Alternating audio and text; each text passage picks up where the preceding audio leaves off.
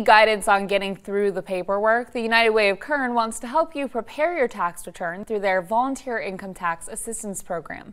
Last year, they say they were able to file over 1,600 tax returns, and they hope to help as many people as possible this year.